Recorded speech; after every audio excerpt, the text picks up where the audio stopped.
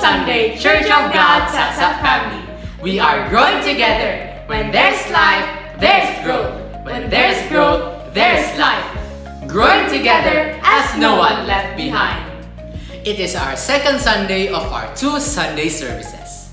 8.30 a.m. to 10 a.m. and 10.30 to 12 noon.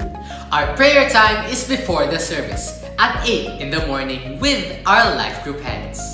Our morning watch is getting stronger each day, a milestone indeed.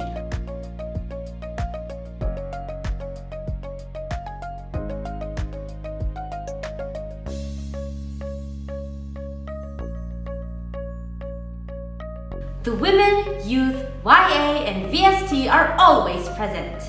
This is daily, every morning at 6 a.m. to 7 a.m. Our M-By gate is open as early as 5.30 a.m. and closes at 8 a.m. Prayer is our oxygen, so let us prioritize prayer. Today, July 14, our unified and synchronized SOAP for the entire church is in the Epistle of Paul to Corinth. 1 Corinthians chapter 10. Happy soaping!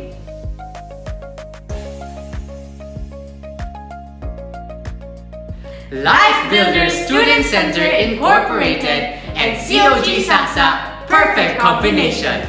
Glory to God! Our LBSI staff's screening processes of our beneficiaries will continue this week.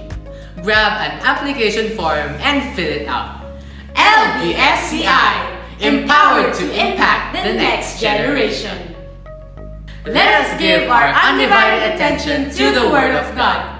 We are continuing our sermon series, Growing Together in Stewardship of Talents. Today, it is multiplying talents through service and overcoming the fear of using it. Blessings!